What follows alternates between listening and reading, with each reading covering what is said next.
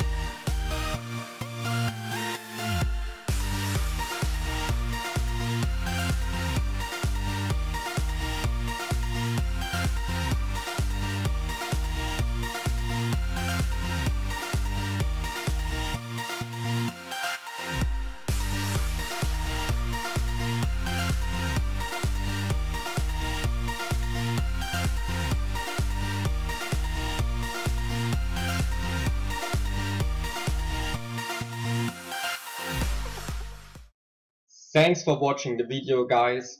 I hope you enjoyed. I hope it helped you, gave you some information how you can easily do the set portal.